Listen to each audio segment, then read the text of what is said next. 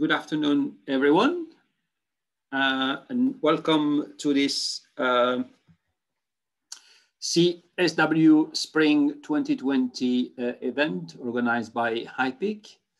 Uh, it's my uh, pleasure to welcome you uh, to this Future Generation Heterogeneous Computing event. My name is Karim Djemame. I'm from the School of Computing at the University of Leeds in the UK.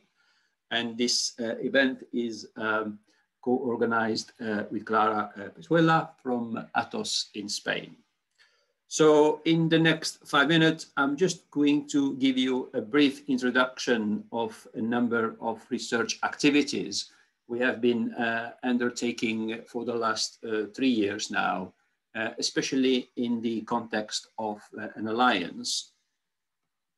let me just in the context of the uh, uh, alliance uh, actually known as the Heterogeneous Hardware and Software Alliance.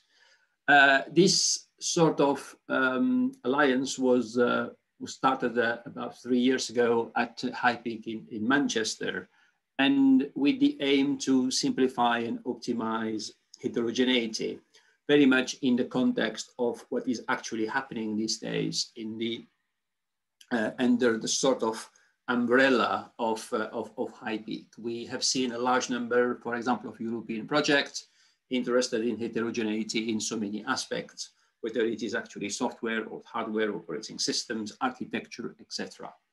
So the aim was very much to try to pursue common objectives within the actual alliance and, and potentially influence and, and develop the heterogeneity, the, the heterogeneity market itself.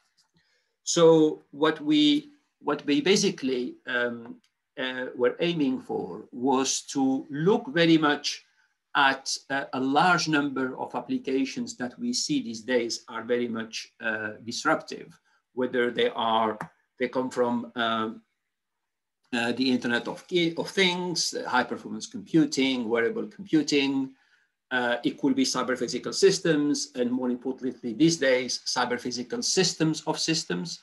And what was certainly interesting was that these, uh, disruptive applications tend to run on, on various heterogeneous platforms, which could be uh, a typical uh, parallel computer, a mobile phone, uh, a grid, uh, as in the old days, or even a cloud.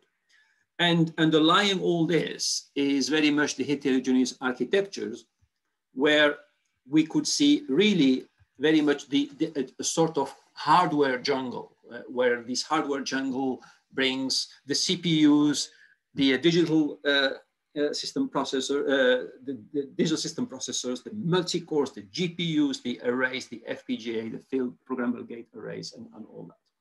So what was certainly clear to the alliance was that there was certainly a need, maybe an urgency to design more flexible software abstractions uh, and, and, uh, and, and improve system architecture in order, in order to fully exploit certainly the benefits of, the heter of these heterogeneous platform, uh, uh, platforms, hardware, and certainly architectures.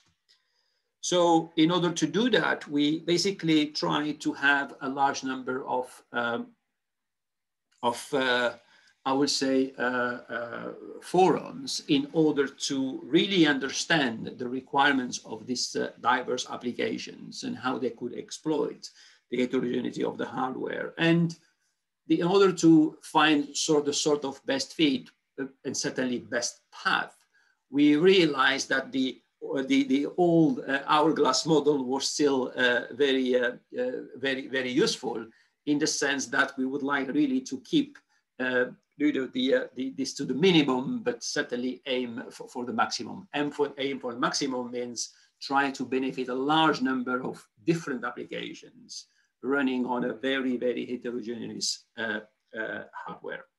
So we also looked at maybe the possibility of uh, defining a common architecture, which we see, we seen very much as uh, a software stack that could uh, that we could maybe enhance in order to um, fulfill these requirements.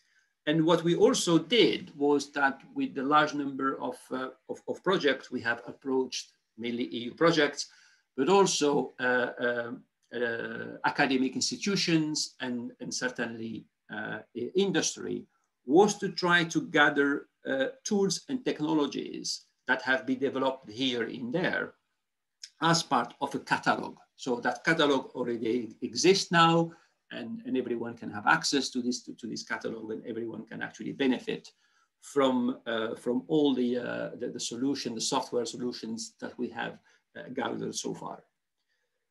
One thing that we certainly did as part of, the, of this initiative, trying to gather requirements, trying to look to work towards a joint architecture, was really to uh, have an application lifecycle approach where we said, can we bring, for example, software designers and software engineers that certainly understand how applications are get designed these days, potentially how these applications get constructed, maybe through thanks to a programming model, how they can be deployed on, on, a, on, on a platform or, or, or, or, a, or an infrastructure.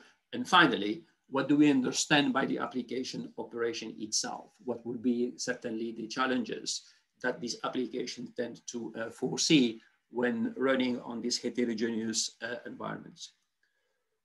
What we also did was to uh, really try to get start looking at uh, setting up some working groups with a specific, uh, I will say, uh, focus.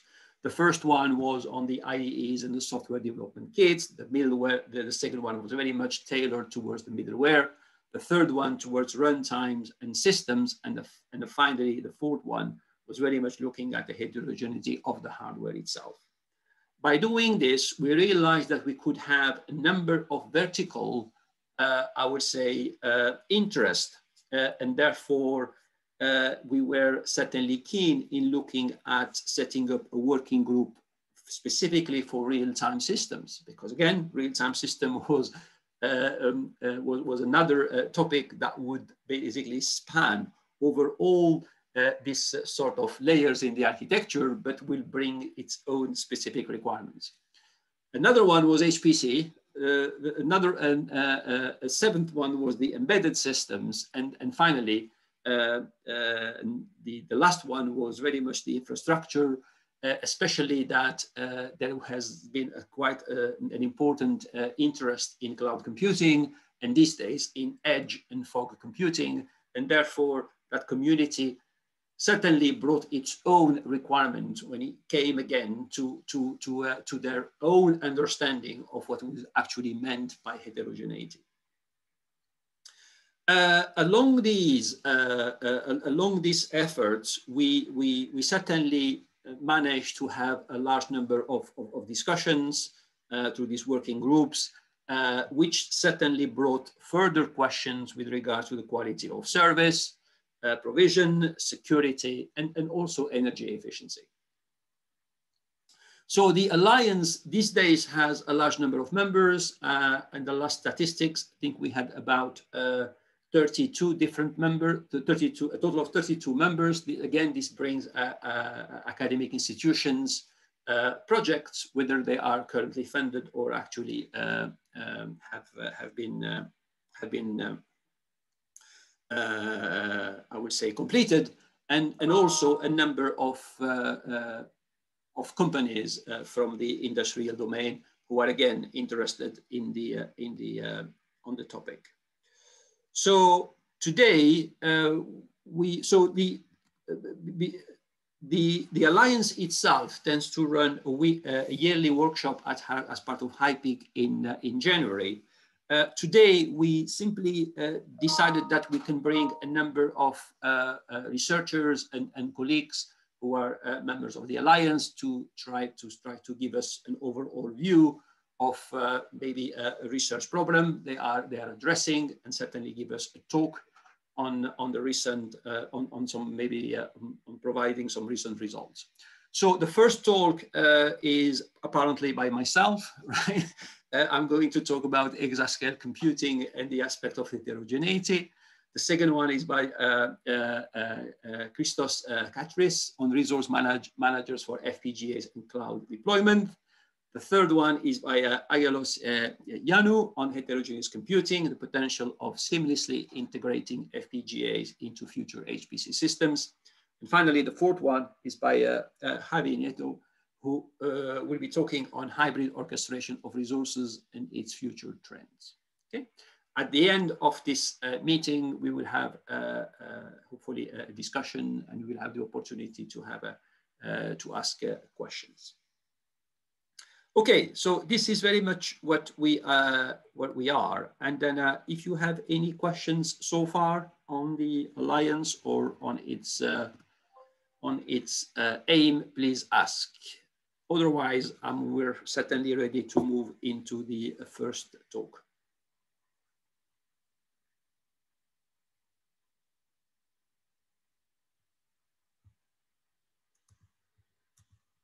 All right, so uh, here is uh, the first talk on, on exascale uh, computing, heterogeneity and deployment uh, challenges, uh, just again, if you have just uh, joined us, so my name is Karim Djemame.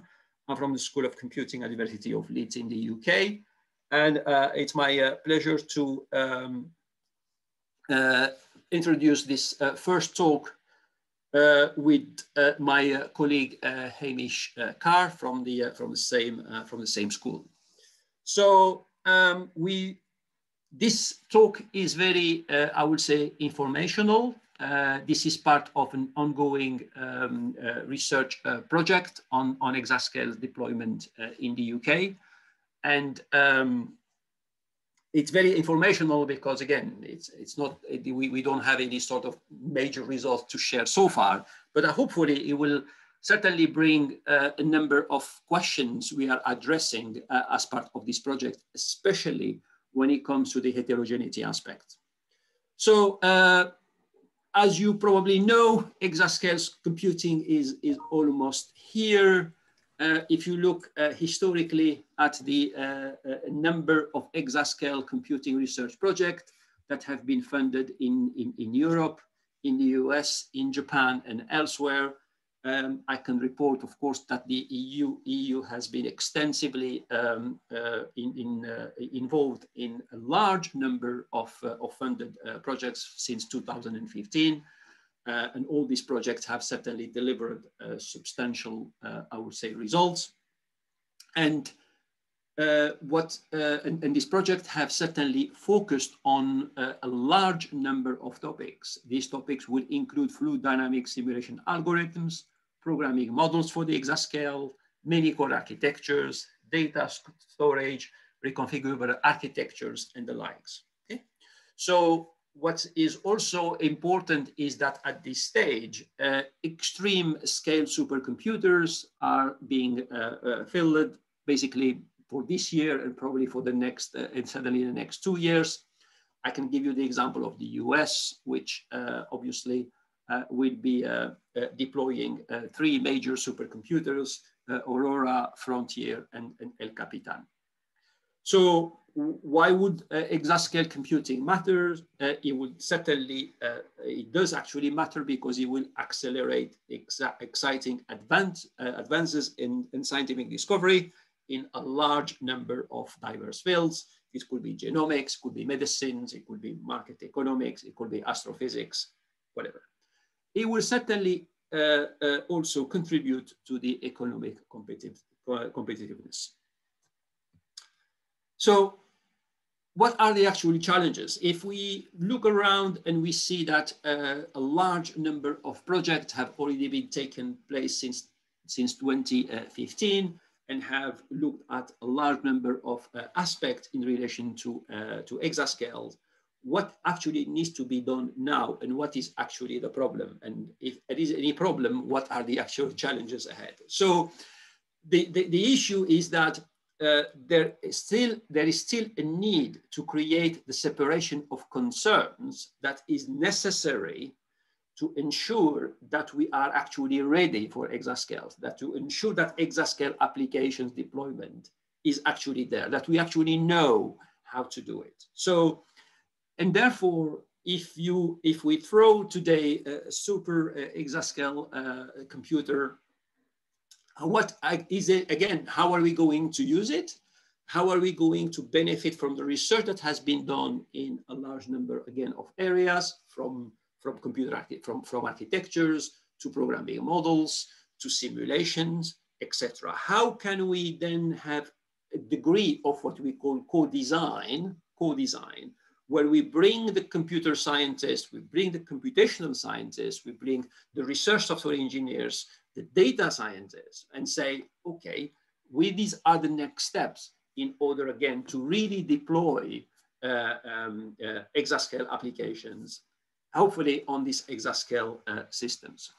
So the way, the, the reason why it's also important is because exascale hardware in itself is will evolve and and and as it evolves software and applications would need to adapt okay? because this is a completely different of course uh, environment and completely different settings and as exascale application requirements evolve then the hardware and the software design will need to adapt as well so you will have again to play in various fronts here from the from the hardware the software and the applications perspective and that's why, again, another reason why the significant degree of co-design is required.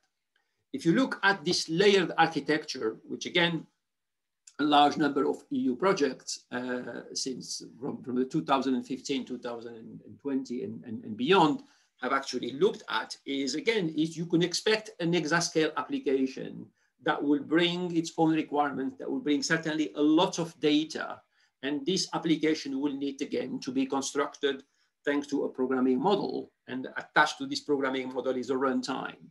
These applications is likely to run to have some form of middleware to, to support the job scheduling, the advanced reservation, the workflow management, the data management, the data transfer, etc. And certainly have some, uh, some services attached.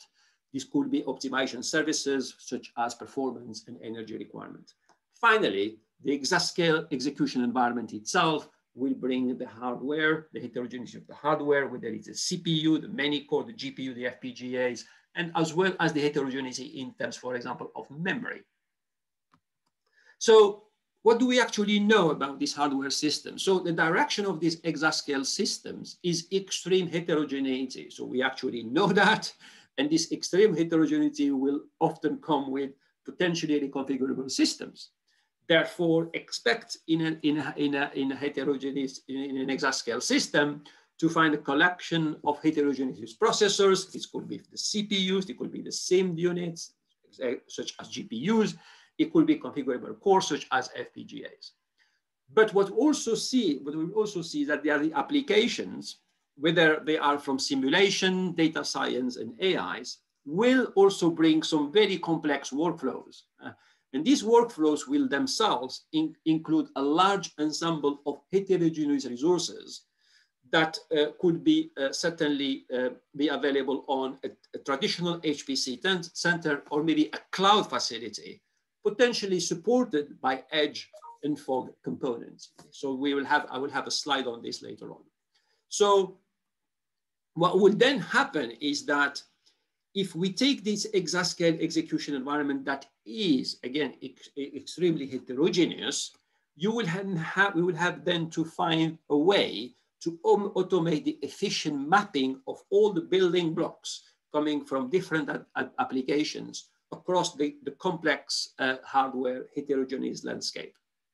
More importantly, this, um, this uh, application workflows will certainly need to do, adapt to meet the infrastructure level objectives in the sense that when you run or, or, or you manage an exascale system, you will have said that certainly to ensure, for example, that your resources are, are, are, are used at the, at the, the way they are used at the right time. It could be a utilization, it could be a throughput, it could be anything else. And therefore, the workflows themselves will need to adapt to meet these infrastructure level objectives. And one way we're, we're doing it at the moment is through the application of machine learning. When we look at the application design and development, again, nothing really new here in the sense that applications will get more complex. They will combine different modules in often a dynamic way and typical uh, programming models that are that have been that, that, that would certainly be a part of the exascale i would say uh, picture is MPI OpenMP Pthreads and, and, and OpenACC so in this says that these programming models will certainly need to be uh, revisited. It could be extended. Expect MPI to scale to the million of nodes. Open uh, expect OpenMP and Pthreads to be able to handle memory heterogeneity. Again, there's been already some research on on on the uh, on, on on this. However, when it comes to the actual deployment of these uh, uh, applications on exascale systems, there has been certainly interest in uh, using domain-specific languages as higher level of abstractions, and at the same time, try to identify patterns that will allow the implementation of customized algorithm to optimize the load balancing, to optimize the data handling. Okay? So again, you will expect, even when it comes to the application design and development, to address these issues. When it comes to the actual uh, middleware, you could expect the dedicated middleware to manage the enormous complexity, of course, of these exascale systems.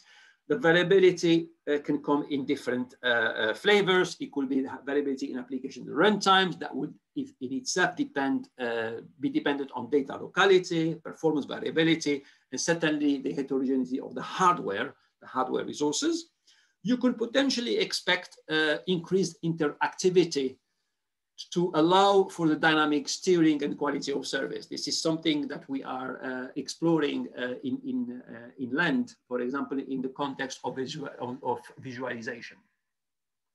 So the middleware sitting between, again, the programming, the, the, the application and, and the actual uh, uh, hardware would certainly have a role to play in, in providing intelligent resource management thanks to automated methods. And then one way we are also approaching this is through, is through machine learning and, and data science.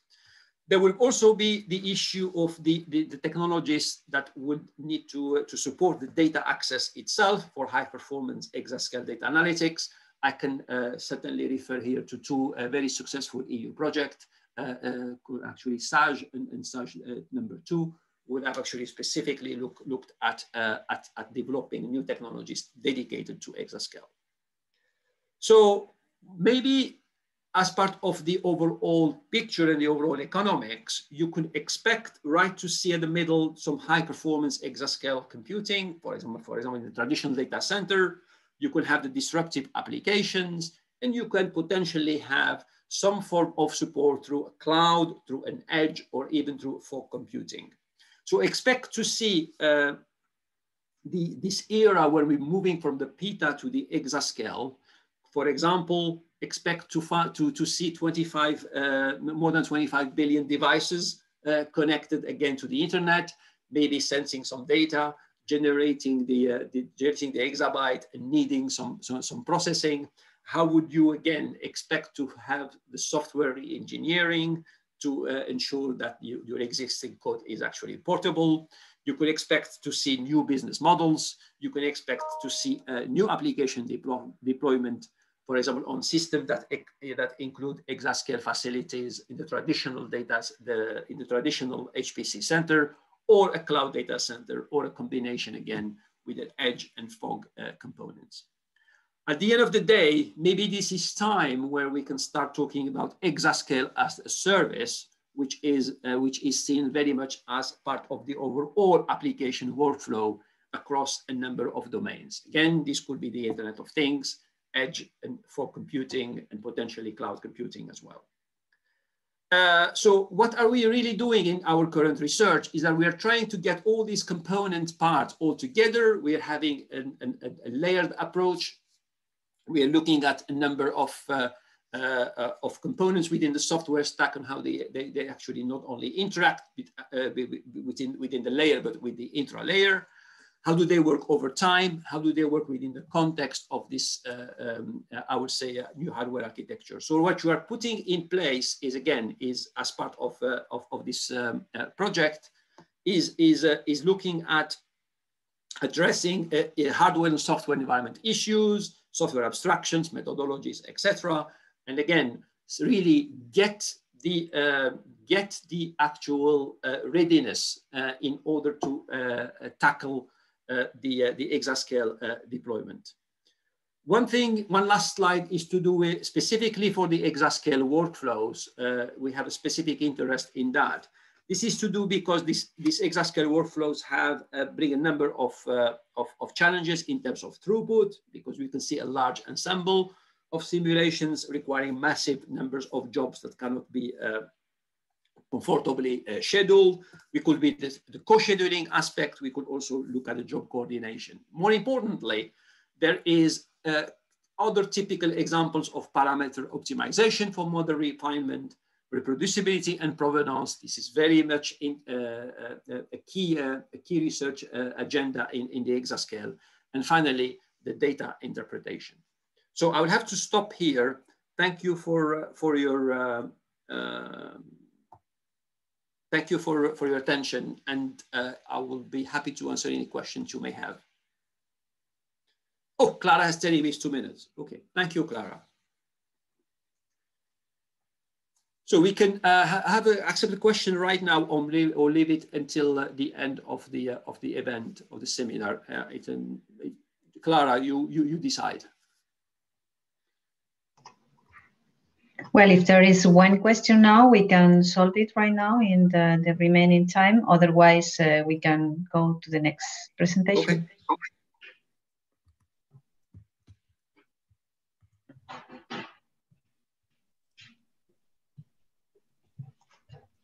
Okay, no questions apparently. So, um, Christo, the floor is yours. Thanks, Clara. Uh, thanks, Karim. A great presentation. Okay, so so this is uh, Chris Kachris, Christoforos Kachris, uh, uh, affiliated with InAccel and uh, ICCS and UA. So, so in this talk, I'm going to, to present the, the major challenges in, in the domain of um, heterogeneous deployment, mostly, right? About the resource management, um, the, the, integration of the accelerators in the, in the software stack, etc. And what, what are the main uh, challenges and uh, the, the main, uh, let's say, solution that we can adopt, right? So, so usually... Uh, sorry, Christos, do you have a full uh, screen mode presentation? Yes. Uh, okay, because we are seeing a slide small. What about now? No, no, the slide the slide is not small. It's it's actually it's it is as it is. okay, then it's me. So yeah, yeah, yeah, go ahead, please. okay, okay.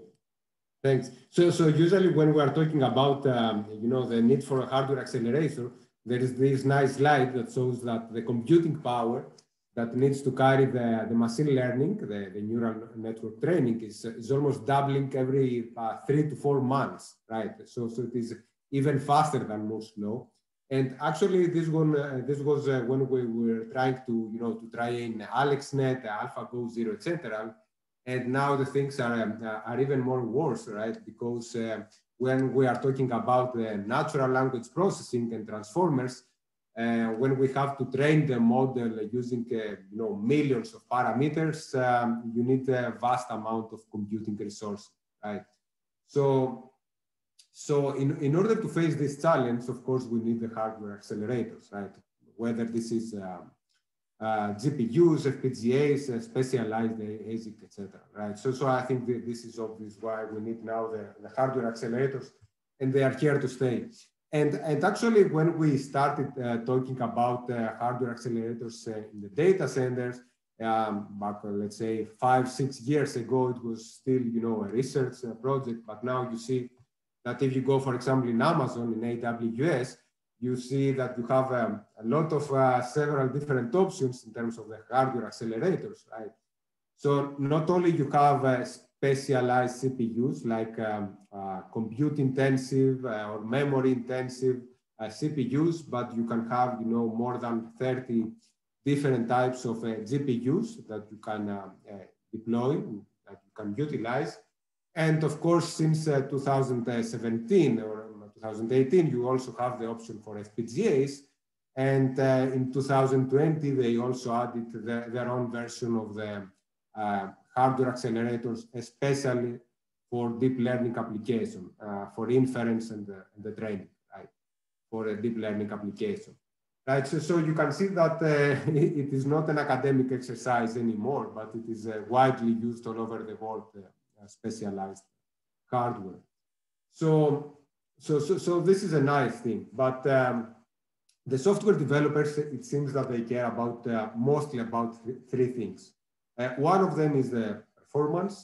The second one is the ease of uh, programming. And the third one is ease of deployment.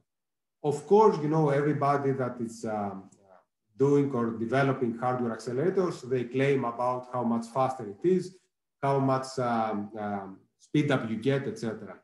But the thing is that uh, the users also care about ease, of programming, right? So, so they don't uh, want, you know, to, to have a, a, super fast machine, but they don't know how to program, it, right? So, so hopefully now with um, CUDA and OpenCL, it is uh, much easier to program the um, GPUs and FPGAs, right? So, uh, for example, for FPGAs, now using OpenCL and C++, high, high level synthesis, it's much easier to, uh, to program the FPGAs and uh, develop the, the IP cores. But the, the software developers and the software users, they care about ease of deployment.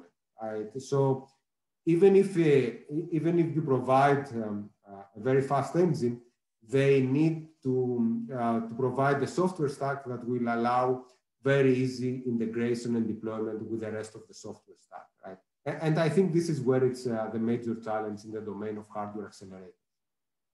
Right, so um, I was watching, you know, the, the keynote from, uh, from NVIDIA, and you see now that um, NVIDIA has acquired ARM, they now even more on the domain of uh, heterogeneous computing, in, uh, in which they are going to have uh, GPUs together with ARM in the same, in the same integrated platform, right? so far, they were using the x86, and now it seems that they are moving to, to ARM-based servers. And so, so it will be very much interesting to see what is happening in the, in the next generation of data centers. And, uh, and the nice thing is that you can see that companies like Intel, right, uh, traditional um, developing data centers processor and, um, and computer processors, now they are expanding and now they provide um, fully heterogeneous platforms, right? So, so you can see uh, on the left side that you can see that we have the typical CPUs, right? So we have the Xeon and the scalable Xeon, special developed for, uh, for servers. And uh, now they have also developed um, uh, their own GPUs, trying to, of course, compete NVIDIA. And on top of that, almost three years ago, they, they acquired Altera. So now they also provide FPGA-based accelerators. And, um, and besides the, the, typical GPUs and FPGAs, they have acquired also uh, Movidius. So, so, they, so they keep expanding the different kind of platforms that they provide for, uh, for hardware accelerators. And um, probably you, you, you have uh, seen that uh, last years they also acquired Habana Labs. I think it was for $2 billion. Uh, that it was specialized for the acceleration of uh, deep learning training uh, and deep learning inference, right? It was the Goya and the Gaudi uh, chips but it was developed by Habana Labs. So, so you can see here that, you know, the heterogeneous computing, it's it's not an academic exercise. It's not, you know, something uh, futuristic, but it is actually here to stay, right? And um, the software developers and the software users will have to, to decide uh, early on the design process which of these um, hardware accelerators they are going to use and how they are going to deploy and how they can change between uh, this kind of accelerator right? And so, so it is hard to decide, and uh, even uh, Intel is providing, let's say, a kind of uh, guidelines on how to select which platform uh, to select for which application, right? So you can choose CPU if you using the deep learning accelerator, the deep learning software stack, in order to speed up some kind of deep learning application that is not so much compute intensive or you can go to a discrete uh, AI accelerators. And in this case, if, uh, if you're doing uh, training, you can use the Habana Labs uh, frameworks, um, the Habana Labs platforms, or the GPUs. And if you are doing, uh, or if you are mostly interested about inference, Uh, you can use the, uh, the vector processing units, you can use FPGAs, uh, depending in, uh, if you are in, uh, in the domain of IoT, on the edge, on data centers. There are different kinds of, of accelerators that they can be used there in, in this case. Right, so, so, so you can see that now uh, the heterogeneous computing and the, the option for heterogeneous computing keep increasing significantly and it will be much harder you know to decide and to deploy your application or migrate your application from typical CPUs to, to a different kind of, of platform. Right. So, so you can see here, this is the heterogeneous computing from, from Intel side, right? When they have the, the Xeon, they have the Atom, they have the Agilex and the Stratix X FPGAs, um, special purpose uh, ASIC Habana Labs, and the, the GPUs and the, the Movidius for GPUs learning. So, and uh, if you go, you know, deeper into the, the options that you have, then uh, things gets uh, even more complicated, right? So in the case for FPGAs, for example, there are different kinds of, uh, of FPGAs that Intel provides, like the Arria 10, Stratix 10, and uh, Agilex, um, uh, all of them with different characteristics in terms of bandwidth, know, memory processing, lookup tables, etc. Right, so, so what we need, you know, and uh, what are the main challenges of the FPGAs, um, I, I, think are the, the, the, four following. One of them was uh, that it was very hard to develop the hardware accelerators for the FPGAs. And I think this, this has been partially solved, right, using the OpenCL and C++ and the high-level synthesis. So now it's much easier for somebody that hasn't done, uh, you know, with prior, with uh, no prior uh, knowledge on FPGAs he can program the FPGAs and he can develop his own accelerators. The next challenge is how you can scale out your application, right? So supposing that you have one application and you want to scale it on, you know, four FPGAs in the same server. Uh, I, I, think this has not been solved, right? Uh, so far, you have to do it manually. You have to, to partition your data. You have to do uh, the, the job scheduling almost manually in order to uh, to dispatch the jobs to different kind of FPGAs and then to manually gather uh, back the results. So, so it's, it's, it's very challenging on how you can easily scale out your application on multiple FPGAs. The other thing is that uh, there is no virtualization on the FPGAs. That, that means that it is not uh, very easy when you are in a, in a, university, for example, especially now that you have to do remote, uh, you know, labs uh, how you share the one FPGA, for example, among uh, 10, 20, uh, 30 different students or different users. There's not the option for virtualization and you don't want, you know, your researcher or students to start asking, okay, now I want access. No, now it's my time to have access, etc. And the time slot, the manual time slot, it's, you know, it's, it's very 90s or 80s, right? Do it manually. So, so we need more frameworks like uh, frameworks uh, similar to what are available in the domain of CPUs and GPUs, that it will allow easy sharing of the hardware resources in the same way that it is done in the CPU. And of course, uh, once you program the FPGA and once you, you, uh, you develop your own accelerator, it's very hard still to program and deploy your acceleration. Uh, for example, in your host code, you have to explicitly specify where exactly is your bitstream file, uh, how exactly it's going to be done, the communication between the host processor and FPGA. So this makes things uh, much more complicated compared with other um, uh, hardware accelerators. Right?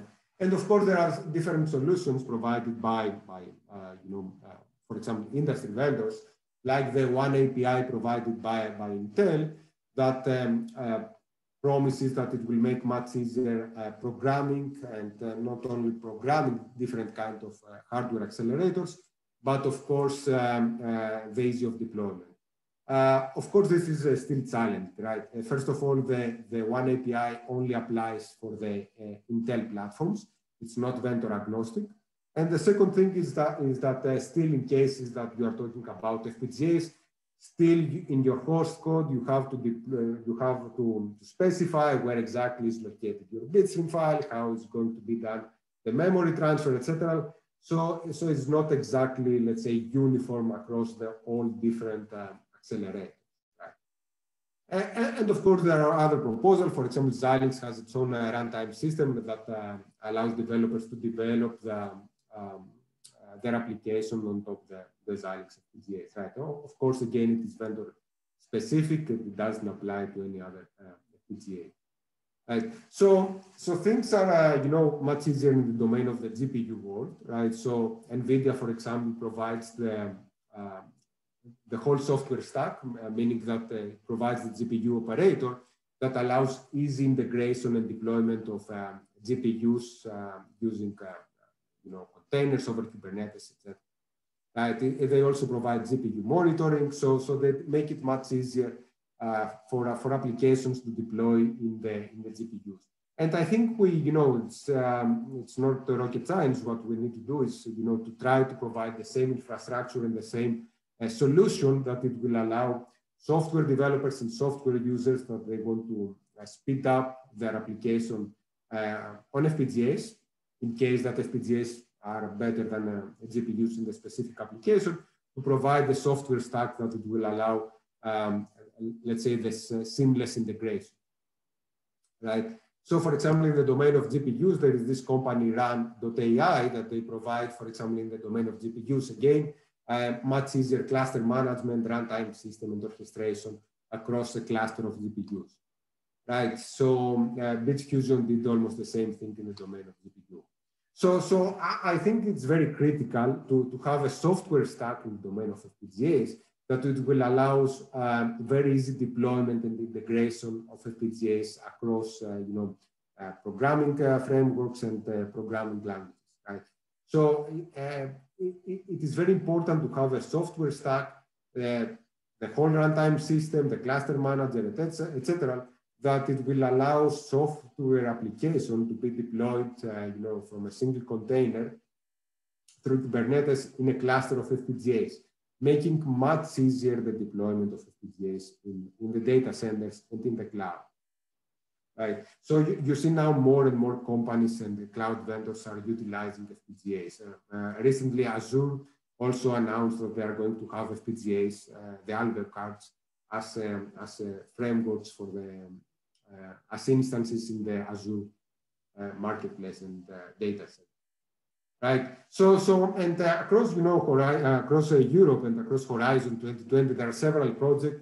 One of them is the, the Melodic project that we're participating in that case, and uh, that allows cross-cloud um, uh, deployment, uh, meaning that the deployment across several clouds and the migration of the application on different clouds depending on the application requirements. And if we want to, to, to integrate FPGAs, we need to provide the software stack that it will allow easy um, integration with the rest of the of the cloud software stack, right? So, um, for example, AWS, Alibaba Cloud, uh, I think now Azure, they also provide FPGAs as an instances. So if we want to allow uh, cross-cloud optimization and cross-cloud uh, fully deployment, and we want to, to support FPGAs, we need to have this, uh, this uh, software stack. And of course, there are several other uh, projects on the domain of the on the domain of the utilization and the integration of FPGAs in the cloud. One of them is the Evolve Horizon 2020 that ICCS is also participating, in which they uh, we, they develop the frameworks that it will allow the hardware accelerators to be uh, integrated across you know, HPC, cloud and data center in a, in a very coherent and uh, integrated way, right? Um, there's also this uh, new project, the Serrano project, that it is also allow the transparent application deployment in accelerated cloud um, framework continue, right? So, so this is a very nice project that um, shows how we can integrate hardware accelerators on the domain of the cloud in the most efficient way, right? So as I said, you know, the, these are the most important challenges, uh, uh, the performance, the ease of programming, and the ease of deployment uh, that, that, I think is very important, right? So, so for example, like what we are doing at InAccel is that we, uh, we develop the software stack that allows um, a, a, single application deployed on a single FPGA to automatically uh, migrate to a multi-tenant deployment on a cluster of FPGAs, right? So, so that means that it allows multiple users to share a cluster of FPGAs without having to manually do the dispatching of the jobs. And uh, they have to do manually the, the resource management and uh, uh, the, the, deployment and the scaling of the FPGAs, right? So it provides, let's say, a coherent integrated way that uh, software users can deploy their application on FPGAs uh, as easy as it is done in the software domain uh, using CPUs, right? So they just invoke the software function that they want to accelerate without having, you know, to, uh, to specify where exactly is located the bit stream, uh, where exactly is uh, how the memory transfer is going to be done between the CPU and the FPGA, etc. Right. So so that make it much easier. What we have seen in application like uh, uh, financial applications, genomic, etc. It make it much easier the deployment and the integration of the FPGAs, right? So, so we try to provide, let's say, the, the exact soft, software stack that it is provided, let's say, by NVIDIA or other vendors in the domain of, um, uh, of FPGAs, right? So, so the idea is that you hide all of the complexity about the bit streams, about the resource management, etc., and you provide an abstraction layer that allows the easy integration of, uh, of FPGAs from uh, frameworks like uh, Java, Python, Scala, uh, programming languages, or frameworks like uh, Spark. So that way you can solve all, all of these major uh, problems that I mentioned, right? The, ma the major challenges that I mentioned, scalability, resource management, sharing of the resources, and the ease of deployment. So, so, so you can think of it if we if we see, take these uh, three pillars, know, infrastructure as a service, platform as a service, and software as a service. We we, we try to provide, let's say, the, the framework that uh, allows you to move from you know from infrastructure as a service to a platform as a service, and uh, if it is combined with a ready-to-use IP cores, with a uh, to a software as a service. Right. So uh, so using this framework, it make it uh, much easier uh, FPGAs to be integrated with frameworks like uh, Kubernetes, Apache Spark, uh, Keras, scikit-learn, Jupyter, KubeSphere, Taro, etc. And now currently we are doing an integration with Red Hat with OpenShift that it will allow much easier deployment of FPGAs over OpenShift, right? And on, on the rest of, and on top of that, with several other frameworks like MindsDB about um, SQL databases, etc. Right. So, okay, so so of course there's um, a lot of uh, related work. It's uh, Tornado VM, uh, API, Sumatra, etc. Other frameworks that I will not mention now. But overall, I think there is a lot of um, uh, there is a lot of hype, a lot of acquisition and you know movement across this area about the um, uh, Bitfusion was acquired by VMware. Uh, AMD recently acquired Xilinx, so we are in the process. Right, so, so I think um, uh, that summarizes all the major uh, challenges in the domain of FPGAs and uh, how they can be very easily integrated on the domain of uh, data centers down the environment. Right, so, so I think this is a very uh, exciting research area and with there's a, lot of for um, deployment, immediate deployment of FPGAs in the data center in the cloud. So, so I think this is a very nice and promising area to, uh, to do some research. Right, so thank you very much. Okay, thank you, Christos. Uh, you have a question um, from Eric, which is asking you, uh, can you easily port an OpenCL program written for a GPU to an FPGA? If you can migrate, I mean. Yes, to port it, yeah. Yes, so um, in order to migrate it, yes, it is possible, but uh, the thing is that it doesn't allow, for example, uh, it's not easy to go from CUDA, let's say, to OpenCL, right? So, so you need to develop the hardware accelerators uh, using the traditional design flow, CUDA in the domains of GPUs and OpenCL in the domain of, of FPGAs. You need to have them in place in a repository. And uh, as long as you both have, uh, you have both of the IP cores, both the GPU and the FPGA IP core in different formats, then yes, uh, it's, it's, it is possible to do the migration, automatic the migration from GPUs to, to the FPGAs in that case. Okay, thank you very much, Christos.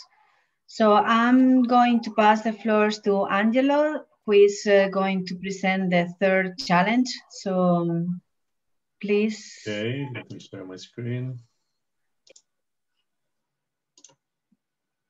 Uh, hopefully it's okay.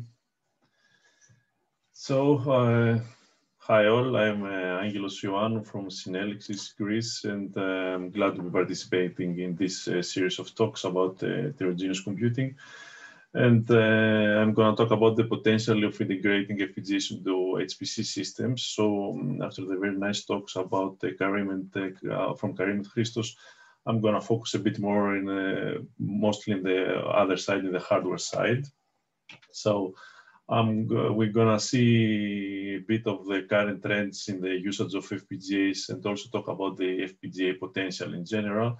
Uh, we're going to see some ongoing efforts on uh, using FPGAs and uh, we'll have a glance of uh, a proposed architecture we call Unilogic that is aiming in uh, easing the usage of FPGAs in uh, big systems.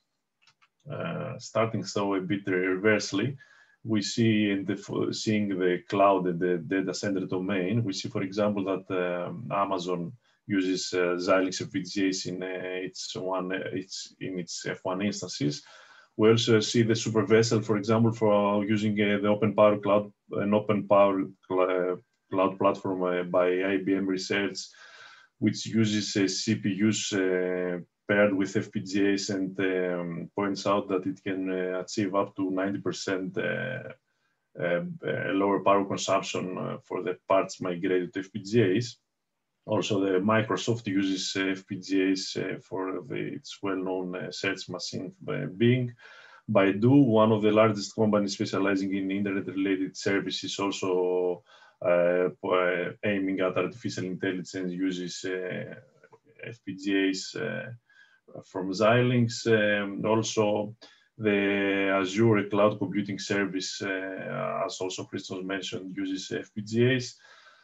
Uh, apart from this, uh, the Nimbix Cloud deploys the SDAccel development environment for application offered by Xilinx and also other big companies like Alibaba and Tencent uh, use FPGAs.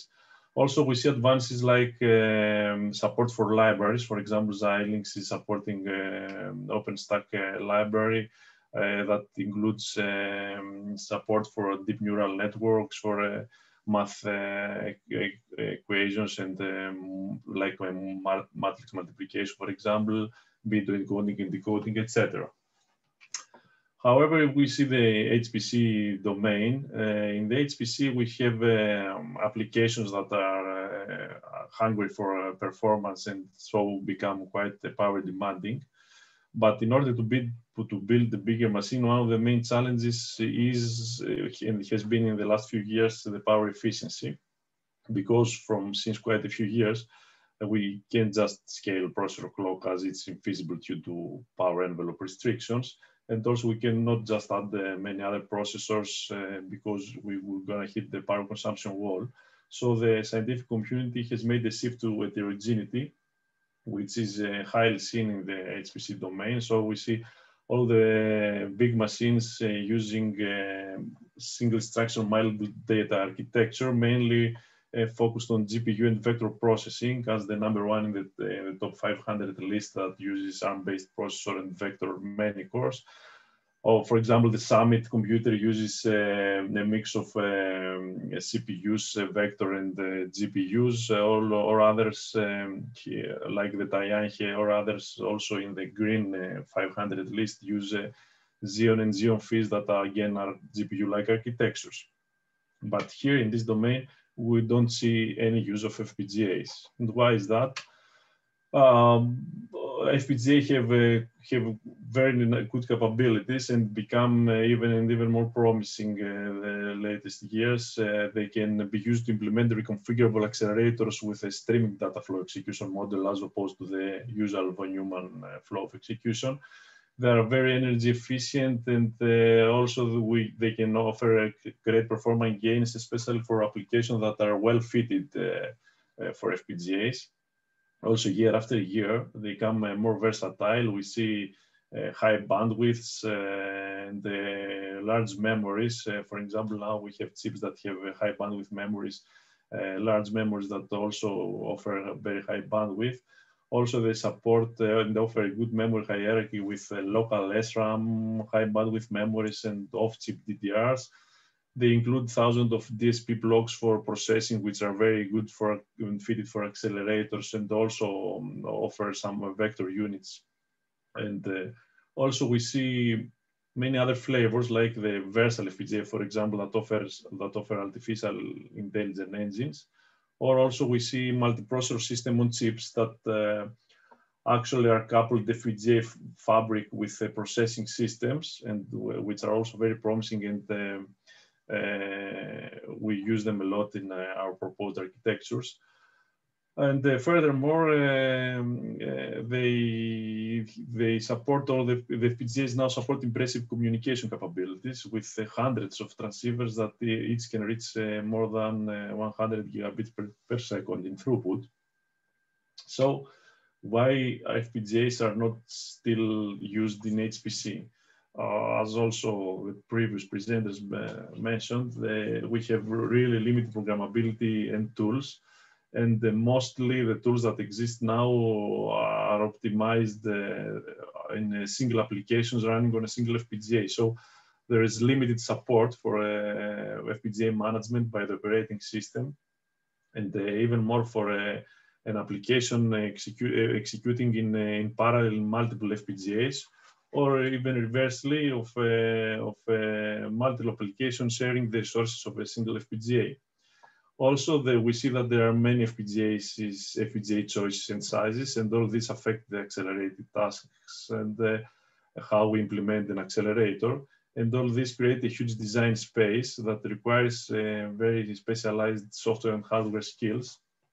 So unlike multi-cores or uh, GPUs or any of the like, uh, the programming flexibility for FPGAs is not well supported. So in a few words, uh, it doesn't matter if you build something very fast if it's hard to program. So what you need is to combine the, something that can offer uh, very good performance with high programmability. So uh, it will be easier to exploit FPGAs if we had an architecture that would offer a simple programming environment, environment that will help build a simple programming environment by offering uh, parallel execution on uh, multiple FPGAs or in a single FPGA, allowing uh, an FPGA to be shared by many applications or, uh, or, or even an application using uh, the many FPGAs. So uh, there has been a lot of research on the use of FPGAs, and uh, many of these research point out that uh, the power consumption that is uh, uh, that is inherent in FPGAs is very useful for the HPC domain, but because they lack programmability, it's very difficult to deploy. Uh, there's also been a lot of work in HPC applications that have been proved to become very efficient when ported to, uh, to FPGAs uh, instead of CPUs and GPUs. But all these works uh, usually emphasize on single, F show results for single FPGAs and emphasize that uh, they, it's very difficult to move uh, to many FPGAs and uh, have parallel execution. We also see commercial multi-FPGA system like those from Amazon, Maxeler, etc. But usually this multi-FPGA system uh, have a tightly coupled uh, processor like an Intel processor with an FPGA board. Bo uh, these two are connected through PCI or even use Ethernet connectivity. So in this way, uh, FPGAs are just user coprocessor, so they have limited or if not at all direct communication. However, the communication between FPGAs, which is very promising and it's very helpful as um, it's crucial for the overall performance of a, a big infrastructure, uh, is not used and uh, even um, uh, published work uh, uh, does not uh, include a high number of FPGAs.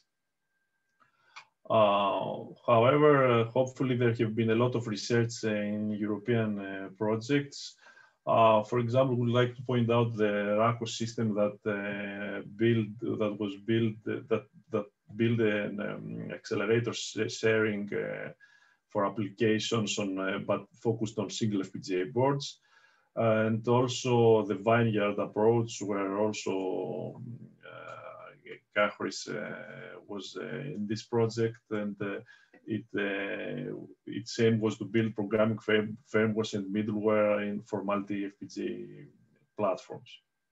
Uh, as in the hardware, let's say, domain, in the uh, FPGA, multi-FPGA platform domain, uh, there have been work by the EcoScale project uh, in within which we also uh, built and developed our architecture, which, which was also uh, cooperating with the sister project ExaNeSt, which uh, was focusing mainly on interconnect and storage in uh, multi-FPGA systems, and the ExaNoDe, which aimed in uh, providing a, um, uh, a, better and uh, efficient reconfigurable node. Actually, now the EuroEXA, the currently running EuroEXA project tries to leverage on all these three projects while through the Optima project that uh, just uh, started, we try to use uh, the platforms created by this project and uh, try to build on those uh, platforms and have a commercial uh, accelerate commercial applications running as accelerators efficiently. So if we are to take a look in the proposed architecture, which uh, the hardware architecture, which we call the Unilogic. It's, uh, it aims to be a scalable architecture for multi-FPGA platforms so that uh, hundreds or more of uh, accelerators can be spread uh, and used in hundreds or more of FPGAs. So in this way, it can offer and uh, leverage improved programmability in these multi-FPGA platforms by allowing the seamless usage of all the reconfiguration, the, the reconfiguration resources of the system. And uh, this is also done by virtualized sharing of FPGAs with hardware virtualization mechanism for uh, high efficiency. And uh, this allows uh, a single application to use multiple uh, accelerators spread across the system or uh, reversely single accelerator, for example, being shared by multiple applications. Uh, this uh, Unilogic architecture is uh, uh, based on a partition global address space, which uh, includes both the memory as usual, but also the accelerator. So application can deploy accelerators anywhere in the system, as we said, and so so as as they can do with memory, but so also the accelerators again can see and um, access the memory of all the system in turn. Uh, also, they can profit uh, from the movement of computation close to data, not only with the usual form of uh, moving the data close to the computation, but also by moving the computation close to data uh, in the form of a reconfigurable, uh, dynamic reconfigurable accelerator that can be um, moved around and uh, configured around the system. Uh, so also on top of that, uh, users can, can have access to the hardware resources either by um, ready build accelerators in the form of libraries or even build their own custom accelerators. so if um, if we want to see high level uh, and abstract uh, view of, this, of a system that uh, deploys Unilogic architecture. We can see, for example, here that the partition global address space unifies the memory of a CPU-based core. So we see here, for example, a multi-cores in the form of cycles uh, uh, accessing the memory across the, the whole system. While in this system, the Unilogic adds a uniform access to reconfigurable logic. So uh, any, again, any uh, processor, as it, as it did with the memory, now it can do with the accelerator. So it can access any accelerator in the system. And in turn, all the accelerators in the system uh, can uh, reach uh, any memory across the platform. Uh, if we see a building block of such a system that in Unilogic we call worker, it's actually in a simple way, it's a usual conventional conventional processing unit uh, with a with a DDR memory and with a, attached to the configurable accelerators but the configurable accelerators are accessed through accelerator controller, which actually provide the virtualized access to this accelerator. So sharing uh, is easy for the applications. And uh, many of these workers uh, can be con connected and communicate through a hierarchical uh, infrastructure. Uh, for example, if we see a compute node uh, including four such workers with the CPU interconnection and the configurable logic, uh, they form a node and many of these nodes uh, can form a bigger system. While in this node, um, an accelerator can be used by multiple uh, by multiple applications and also application can use either local or remote accelerators, one or, uh, or one or many many of these, um, uh, this, uh, excuse me, this infrastructure is uh, decoupled. So we have a different uh, portion of the system for the static logic, which offers the interconnection and the control of all the accelerators. And then the accelerator come in place in form of dynamic reconfigure accelerators. Uh, so they can be added and moved around the system. Uh, Again, um, uh, as we said, uh, much of many of these nodes can be added uh, and big, build a bigger system, build a bigger, bigger system to have hands-on, we moved on in these projects and uh, build uh, platforms that uh, used many MPSoCs and have implemented, realized the architecture. Uh, for example, here we see the Quad daughter board that has four MPSoCs by Xilinx tightly coupled in an all-to-all interconnection. It was built by FORTH within uh, the Exanet project. And uh, eight of these uh, come in place in a, um, in, a, in a blade, in a big board, in a big uh, baseboard that uh, offers favorable topology. Uh, so that the accelerators and uh, can can easily communicate. Uh, and also going further on and having a glance at the um, at the implemented blade, let's say, uh, we have uh, built a system that works in one USAC size and we have connected some of those and building bigger systems. Uh, finally, it's interesting to see um, the, the liquid cooled system also, as was also uh, in connecting many FPGAs. This one was built in, within the Exanet project. As we said, it uses liquid cooling and it connects up to 16 blades, uh, reaching more than 20, 200 FPGAs. And it's hosted at the Foundation of Research and Technology in Greece. And um, um, it, it's uh, interesting to point out, uh, closing this presentation, that uh, the just started Optima project aims at leveraging on these platforms and efficiently porting and running quite a few interesting commercial applications, both on this platform by Exanet and the previous platform by EcoScale. Um, thank you. If there are any questions now or later. Okay, thank you, Aggelos. So is there any question?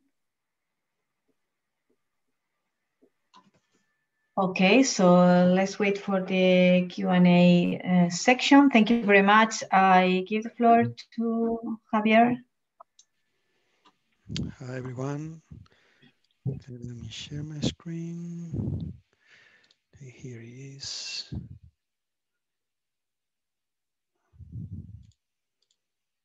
Can you see the presentation?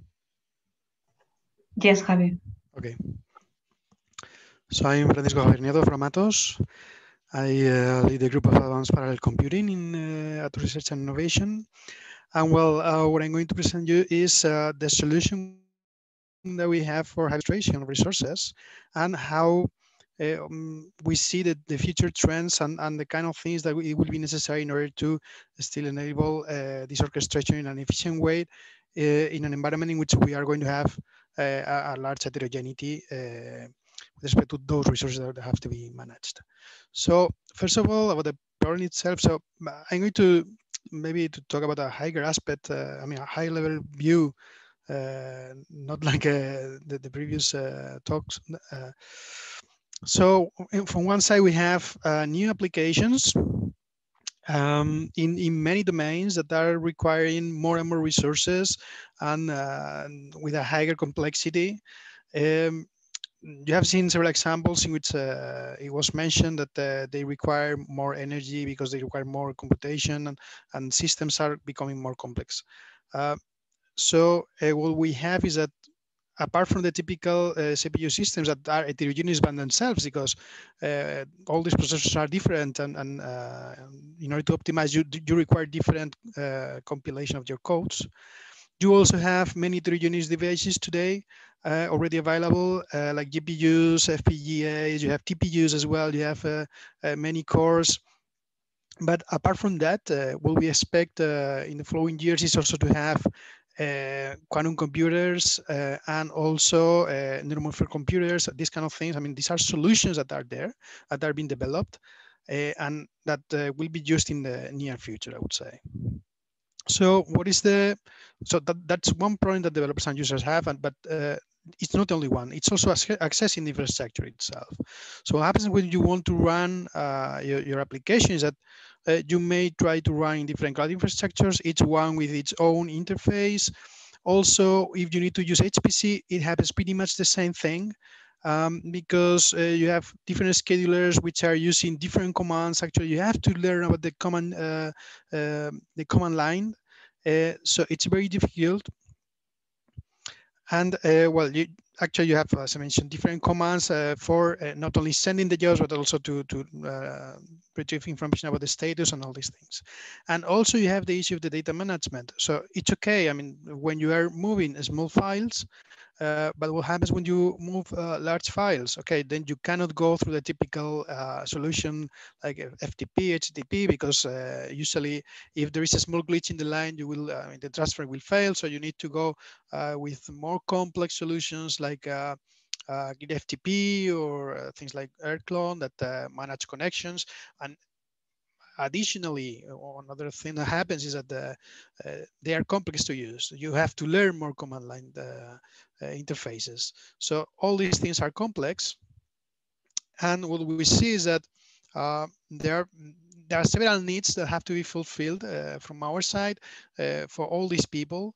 Uh, first of all, from the point of, of view of the heterogeneity of the solutions. So you need to learn many APIs, programming models. Uh, you already have seen that uh, if you want to use FPGA, you have to use maybe OpenCL, but if you go with uh, NVIDIA GPUs, you need to learn CUDA. So it's complicated. And you need to manage all these things because later you need to access those devices. Uh, we are talking about very complex technologies. So uh, it's not just learning a couple of commands. You have to learn many of them and understand what's going, uh, going on in the background, right? And you need to configure things in such a way that they will work for you. So the point is to reduce the complexity, right? This is what we, what we think that has to be done. So how we see the management of the application's execution in this context. First of all, uh, we have this idea of hybrid orchestration uh, in which we combine different types of resources. Uh, so we have HPC from one side, uh, where you may uh, be running uh, complex simulations that require a, a huge number of, of, of, nodes and cores, and that uh, parallelize very well. Uh, on the other side, you may use cloud platforms as well. Uh, this is maybe for more simple applications. And also you have to take into account that there are new devices. you, you may have it's uh, servers or small, even smaller devices. You may also use things like quantum computer. I mean, there are already a few quantum computers available, but at least you can, uh, I mean, they are not very accessible actually, and not for production, I would say. Uh, but uh, you can access, for example, simulators and prepare your codes, things like this.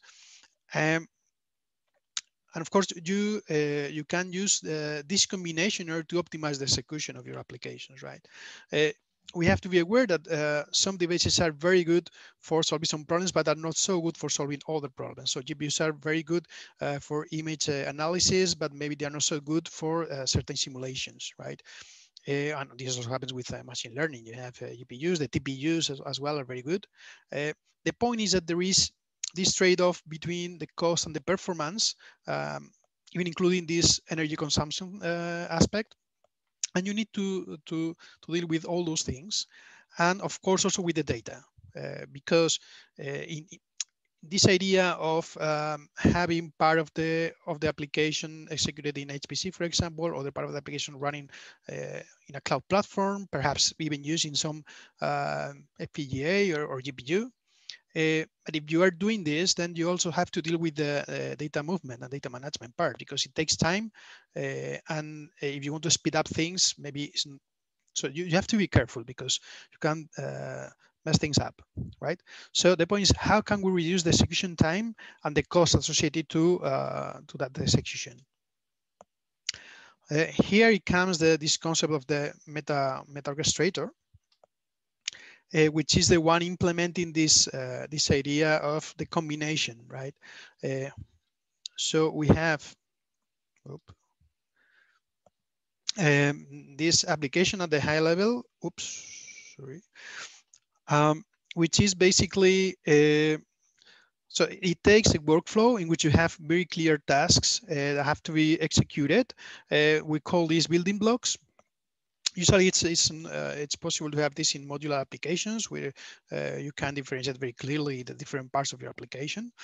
And what happens is that the orchestrator uh, is interacting with uh, the schedulers from the HPC side and also other orchestrators or directly with the um, the, the APIs of some cloud infrastructures, right?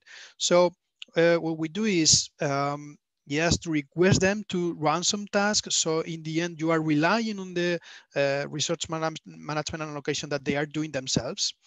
Uh, the point is that from our side, what we can do is to select the most appropriate one depending on the task that you want to run, right? And also another thing that we need to do is to monitor the execution, right? Uh, it's necessary to know what's going on, uh, and it's also necessary to know the status of the different platforms in order to be able to take a good decision. And as I mentioned before, it's, necessary to deal with the data movement and management. So you need to know where to move the data, if you need to be applying some caching, caching mechanism somewhere, uh, if you need to, to do uh, uh, some special uh, kind of a special transformation of the data and things like this. So the point is that, okay, we can enable, enable this uh, hybrid solution between HPC and cloud, uh, but how should we deal with the heterogeneous part of the platforms, right? Because if you're only using uh, CPUs, uh, it's not so complicated, but it, it's a bit more complicated when you are dealing with uh, these heterogeneous devices. So um, our orchestration solution itself, just to, to tell you about some features that we are able to, I mean, that, that these are things that we have today. Uh, so we have a meta orchestrator that it's a, a able to uh, connect with many uh, different cloud platforms and also support uh, some HPC um, infrastructures with schedulers like Slurm, Torque, and PBS Pro. we express the workflows in TOSCA, um, which is a typical solution used in cloud so far. And this is good because in, in the end, it's possible to have some kind of integration between these um, uh, different kind of platforms. So everything becomes more standardized. And um, then we have some additional um, features uh, like uh, that supporting the, uh, an easy data transfer between cloud and HPC using solutions like GridFTP. And uh, we can even also publish data sets in CKAN. CKAN is a, a, a data catalog uh, solution so basically, you can publish uh, some metadata about your uh, your the outcomes from a simulation or your application, and you can just leave the data uh, in the in the right location.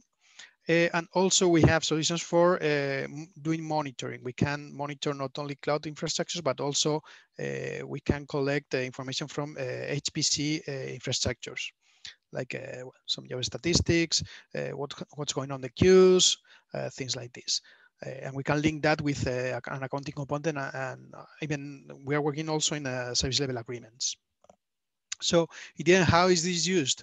Okay, you have the uh, some TOSCA file in which you, you define uh, your inputs. Uh, I mean, it's not very complicated. You have another part for defining the infrastructure definition. So this is the, which infrastructure are you uh, are you going to use, uh, giving some basic inputs like your credentials and things like this. And then when you need to specify your tasks, you have a part in which you just you specify how you deploy uh, that concrete task uh, of your application and then how you execute, right? So until here, everything is okay. The point is when you start to include things like uh, uh, data management or data movement tasks that are included also in the definition of the of the task, um, things become uh, a bit more complicated. And uh, and the point is that today we don't see the way, uh, or it's not so simple to, to deal with the heterogeneous devices. So how I explain or how I express that I want to use a GPU or FPGA or something like this, right? So what happens here is that apart from that, what we see is that uh, mm, we are going to have a new kind of architectures. Some of them are, already available. Uh, uh, others will come uh, in the in the next years. So for example, we start from uh, devices like uh, mobile phones or some small devices in the uh, with uh, connected sensors and things like this. Uh, what we may find today is um, this uh, concept of edge computing, where we may have different devices collaborating together in order to process some data, which is being generated in that area. it's possible to have uh, some of these uh, nodes in the edge which are more powerful uh, and that can process more information, generating some kind of local clouds, something like this. Um, here include this indication about the European Processor Initiative because uh, as we are talking about the heterogeneity, it's important to take into account that um, EPI is uh, um, an effort from the European Commissioner to have a European processor. And what they are doing right now is um, they are proposing a solution which is modular, in which you will have some um, cores which are uh, just for computation, other cores are GPUs, other cores are uh, multi-core, uh, other cores are uh, small FPGAs, and what they are doing is defining different combinations of all these uh, different cores in order to have some processors for the edge computing, other processors which are for uh, HPC. And, and the point is that this will be available in the next years and some devices will integrate that. So in the end, we, ha we have to take into account that this is going to happen, that we will have that kind of devices that, that we need to understand how to use them. The point is that with this architecture, uh, there are things that you can compute there in the edge, but also you will find that you need to do some computations in the cloud part and also in the HPC part. And here again, I mentioned that the, in, the, in the HPC part, we will have uh, so, um, some systems with the European Initiative, which means that we will have uh, GPUs, uh, FPGAs, and, and, many other devices. And apart from that, what we expect in the in the next years is that we will have quantum computers which are attached to the to the HPC center, um, to the HPC system itself, right? So we have, we'll have another new kind of, uh, of device.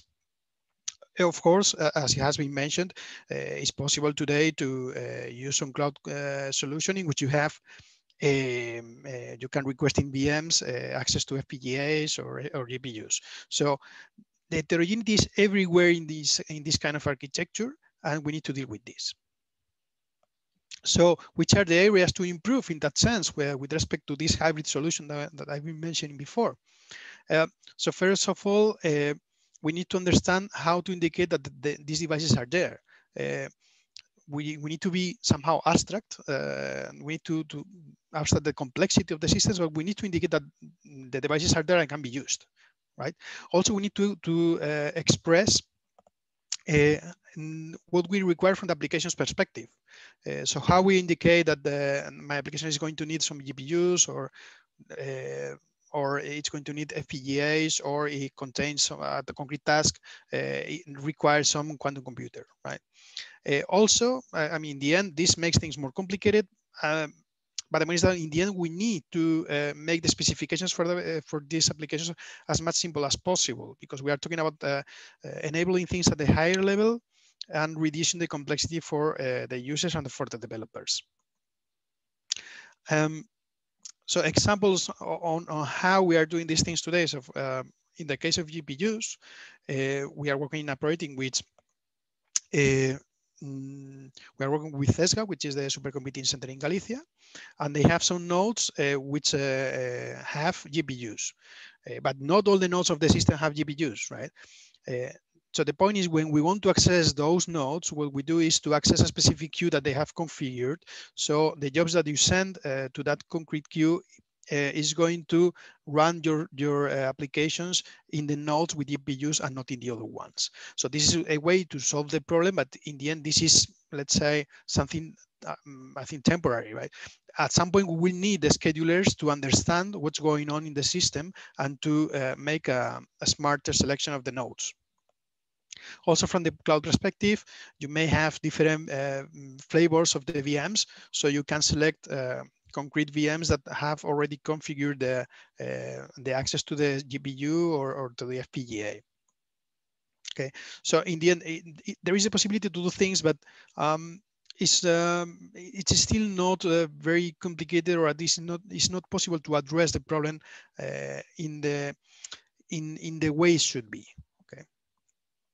Uh, another point is how can we be uh, can we be more efficient?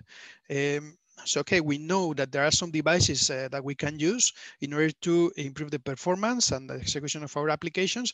Uh, now the point is uh, how uh, we allow to the orchestrator to understand this and to take better decisions. So from one point, it's to, to do some kind of profiling of the applications. that is related to the way in which we express what the application is going to need.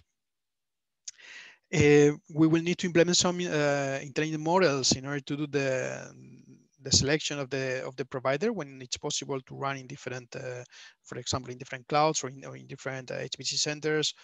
So we'll need to do these kind of things and calculate, of course, calculate trade-offs uh, because, as I mentioned before, it's not only the computation but also uh, the way in which you move the data, right? Another point would be this, uh, the part of uh, a distributed orchestration. So right now, the typical way in which we work is uh, we have um, an instance of, of one orchestrator and that, that instance is just contacting directly to the different providers. Uh, it could be different cloud infrastructures, it could be different HPC centers, it, it doesn't matter. Uh, but the point now with um, uh, the introduction of these um, distributed architectures and edge computing, uh, it will be important that uh, we enable the possibility to uh, have different orchestrators that are going to collaborate together and that take into account that uh, they need to, to talk with the edge part. Right, in which you, you may have uh, some devices which are suddenly disappearing or appearing, and so the environment is, is more dynamic. And a last point that I think is very important is the is the code portability, right? Um, this is important because, uh, as in our case, we want the, to have the possibility to uh, run uh, an application or part of an application uh, in different uh, providers. Uh, it happens that, uh, for example, the, the people from Stuttgart has not the same processors as the people in Barcelona, which means that you need somehow uh, to uh, adapt the compilation of your code in order to be efficient. In that sense, um, there are solutions like Spack that are used uh, today and that we see that it will be possible to integrate something like this in the, in the solutions. And actually, this is something that we're going to do in this in the project HiDALGO. So conclusions, yes, and I'm finishing. Um, uh, first of all, uh, again, simplicity. Uh, I just want to define one word from, from our application and be able to run many times in many places. So I don't want to, to take care of a, a compilation for uh, every uh, kind of processor or GPU or whatever. I mean, I want things simple. And that is directly linked to this complexity abstraction for developers and users. Um, we were able to support today this concept of uh, hybrid orchestration uh, for multiple uh, multiple platforms, uh, but we understand that we need to uh, make wider this concept of uh, hybrid, supporting more solutions and more architectures like edge computing. And of course, there are uh, important challenges to address uh, from the high level perspective, uh, like how to express the heterogeneity, how to, to address the heterogeneity in order to include intelligence in the orchestrator, so you can do a better selection of providers. And finally, as I was just mentioning before, the portability, right, to be able to, to recompile things. And that's all from my side. I think I'm in time. Okay, thank you, Javi, for the presentation. Uh, there is a question in the in the in the tool. I don't know if you can read it. Otherwise, I can read it for you. Uh, currently, in top uh, 500, the most powerful computer is uh, Fugaku. That is not a, a, an heterogeneous computer accelerated with FPGA or GPU. Considering the programmability wall, how do you see the future of heterogeneous system in the context of exascale computing? Mm -hmm. Well, actually, as I mentioned before, if you take a look at the European Processor Initiative, um, uh, one of the things that these processors are including is uh, different kind of, uh, of devices. I mean, they are going to have small cores for FPGAs, small cores for GPUs. So it's something that you are going to have sooner or later, basically because um, I think that uh, it was Aggelos that uh, explained it before. Yeah. Uh, so there is some kind of wall uh, between the capabilities that the CPUs can give you and the amount of energy that, that they consume. So for solving some problems, in the end, you need to go uh, to uh, a specific device, which is going to be much more efficient. Otherwise, it may happen that you need basically a nuclear plant just next to the HPC system because there is no other way to, to, to feed the system with enough energy, you know? Okay. Anyone else can complement the, the answer? Uh, yes. I, oh yeah, go ahead. yeah, just just want to mention that uh, um, also the Fugaku, which is a kind of a hybrid approach because it uses a very wide vector unit. But apart from that, uh, it first appeared as a small um, a, small implementation in the Green uh, 500 list. And now, for example, again in the Green 500 list, we see uh, going higher with uh, better flops per watt with uh, for example, now number one is uh, topped by an NVIDIA, a, a, full NVIDIA approach using uh, NVIDIA and AMD CPU, CPU. So uh, I think heterogeneity for high performance of application is something you cannot avoid. Yeah, okay. I will, I will, I will, uh, I will, I will support that. Uh, it's again, it, it, it is clear that the, the direction of exascale systems is, is in itself extreme heterogeneity and, and therefore always ex expect to, to have as part of these systems reconfigurable uh, components because reconfigurable computing has certainly shown, as uh, as, as explained in, in, in all the uh, the uh, the presentation, that it's actually it's actually paying off. Okay, so I hope answer uh, has been answered. Uh, next one is uh, from Jose Luis Guisado. Do you already have a meta orchestrator in production that can deploy tasks on both cloud, for example, OpenStack, and HPC, for example, as Slurm resources? Yes. So we have a solution based on Cloudify, um, which uh, which is called a Croupier, uh, which is a, a, kind of plugin for uh, Cloudify that does, uh, provides a support to uh, Slurm, uh, Torque, and PBS Pro. So it's possible to have, uh, so I mean, we have workflows in which we have tasks uh, running uh, in the part of HPC and tasks running in the part of cloud. For example, uh, what we have seen is that uh, we can do that um, in cases in which you are doing some pre-processing of the data that uh, could be done in the cloud, especially if you are not using large amounts of, of data. Then the, the simulations are executed in the HPC part.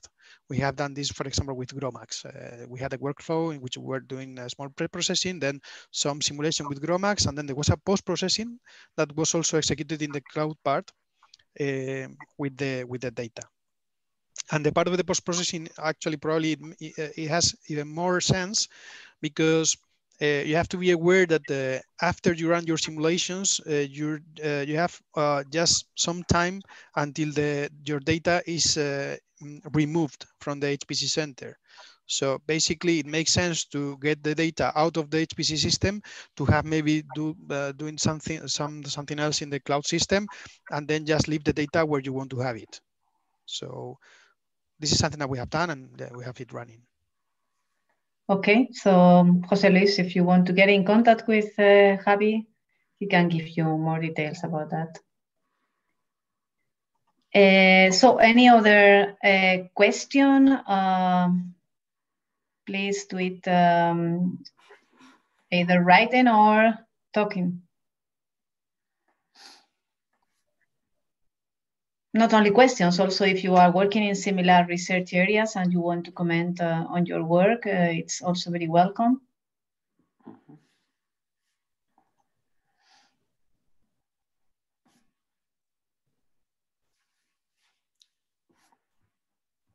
Can I uh, maybe do have a, a, quick comment? Sure, Karim, please go ahead. I think it was um, Aggelos uh, presentation um, where um, there was certainly, uh, we, we, we, we, the presentation addressed the, the actual uh, issue with multi-FPGA systems, right?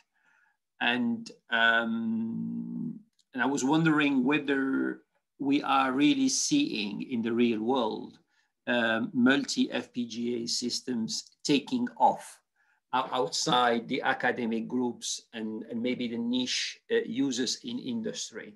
Okay, I was just wondering again whether it is what is really happening in the real world in terms of again multi FPGAs. Uh, hi, Karim. Yeah. Hello. Yes. Hi.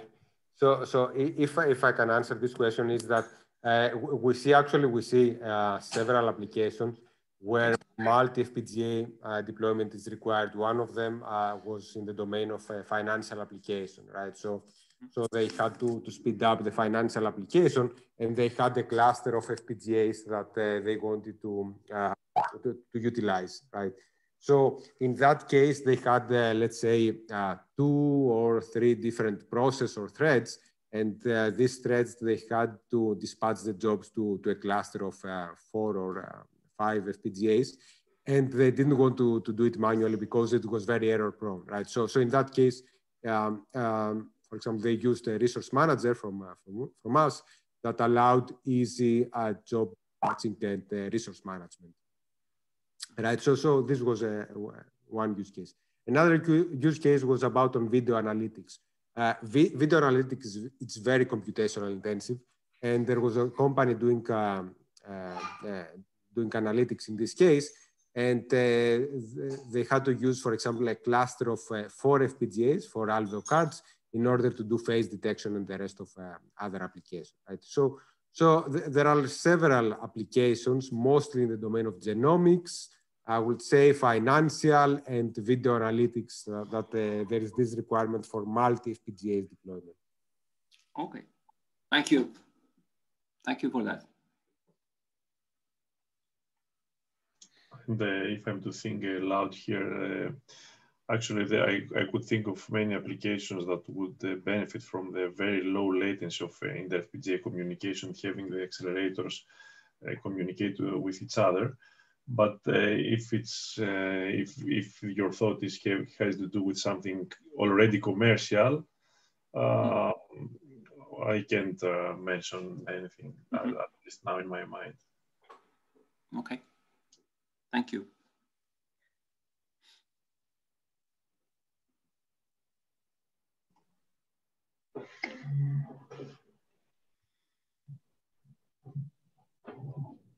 Okay, there is no more questions from the audience. Okay, so um, I don't know, um, uh, Karim, if you want to, to close uh, the session uh, or just um, recapping what we have uh, seen during these uh, during these four presentations and yes. Uh, so, summarize the, the conclusions. Yes. So for, first of all, I, I, would like to thank uh, all all the speakers for uh, uh, their presentations in, in the scope of this future generation heterogeneous computing.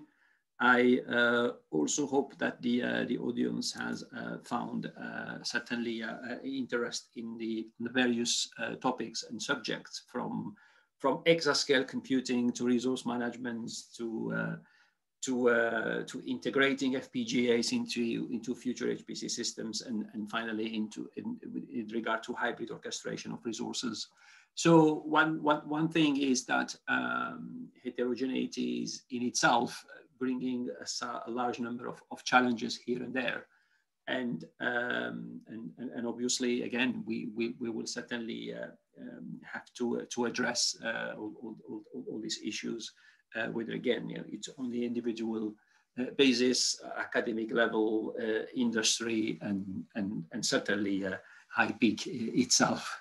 So I may just again want to uh, to thank the, uh, the, the audience for uh, for their for, for their interest and um, let I will close this uh, this event and hope uh, to see you uh, soon in in future in another future HiPEAC event. Thank you everyone. Thank you very much to all. Thank you. Bye bye. Thank you. Bye bye. Ciao.